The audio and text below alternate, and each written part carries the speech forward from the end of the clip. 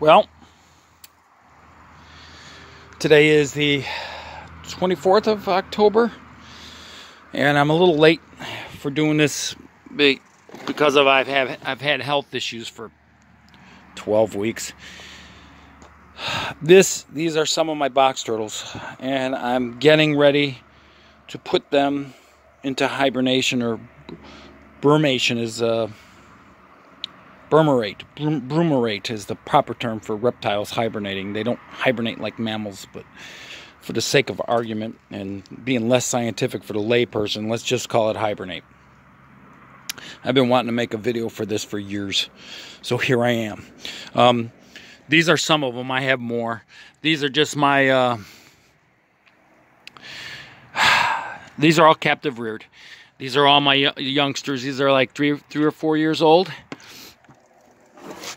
And I hibernate them because I, that's what they do in nature. I believe that that's what people should do.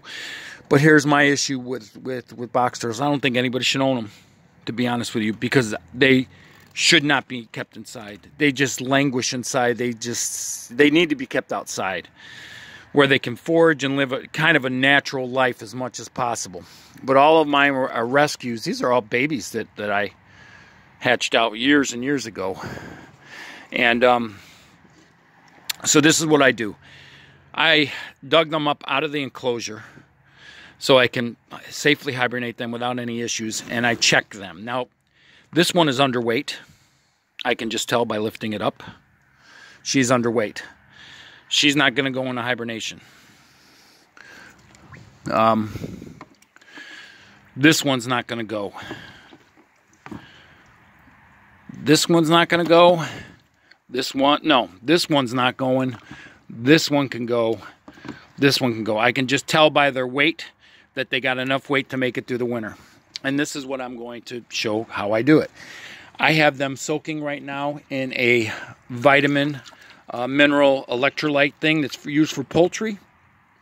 Right now, I don't know what I did with the bag, but I put some in there so they so they hydrate themselves. Now I just dug them up. They've been underground. Oh, she's really Look at see how fat she is. The fat sticking out of her bottom of her legs there. Yeah, she's she's she's good to go. And these are her two babies that I just dug up.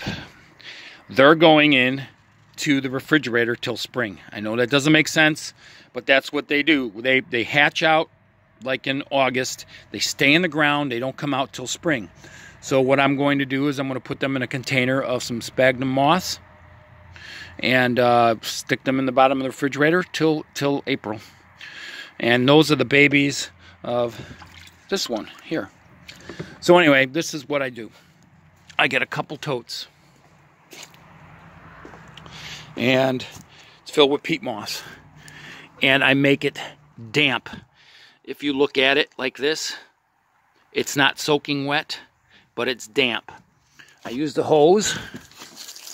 I spray it like this. And then I mix it by hand. And I make it, you don't want this stuff dry. Box turtles have to have high humidity. The reason why I use peat moss, peat moss is very acidic. So what it does, it keeps the bacteria and it keeps the mold from growing. I've been doing this for years. I've been hibernating box turtles like this for at least 15 years. And I mix it up and as long as there's no water running out of it, it's you could see that it's it's it's damp like this, but it's not um, it's not wet. You want it like that. That's what you want it. You want it damp, and you want to mix it by hand.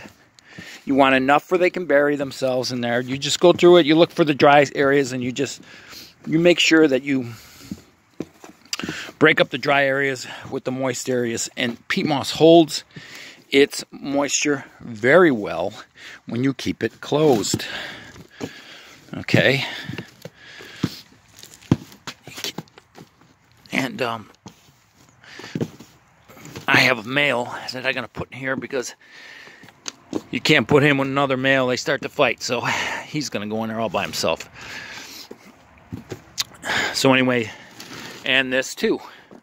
Now I have lids for these things and the lids will go on them. And what I do is very simple. Everything's mixed up.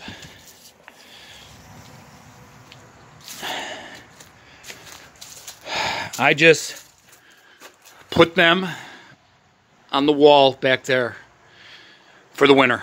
This is an attached garage to the house, but it's not heated. It doesn't get terribly cold, but it gets cold enough to put them to sleep, more or less, for the winter. If that makes any sense. I've been meaning to do this because I have gone online on YouTube a million times over the years looking for a video on how to hibernate box turtles.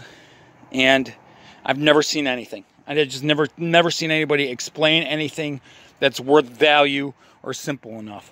Now I got a lid for that you know, they'll go in there. But basically, I don't do anything else but just, I, I will level it out just like that. I'll pat it down so it's kind of firm.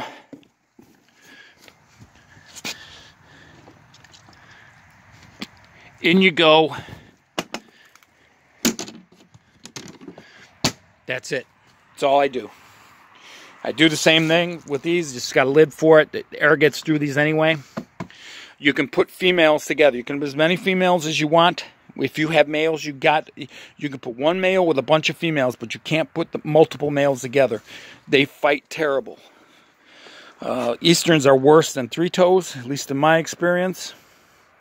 But anyway, and what will happen is I'll periodically check on them in the winter to see if they're hydrated. If any of them come up and they're, they're semi-active, I will rehydrate them. I'll just stick them in a tub like this with an electrolyte, mineral, uh, vitamin, mineral, soluble poultry stuff, um, and soak them. And then I'll put them back under. So it's real simple to do. I, I wish somebody told me this years and years ago, and I really hope it's useful to anybody that keeps these animals. I mean, they're wonderful animals, but honestly, don't give them for kids. And if you keep them in an aquarium in your home, you're just ruining their lives. They're, you're ruining their lives. I don't sell them. I refuse to sell them because it's. I don't think it's ethical. Um, but what I do do is I have a place. I have a, I have I have a place out of state where the where the easterns and where the three toes are native. And when they're a certain size, I just release them and let them go in, back into the let them go back into the wild as it should be. Till next time.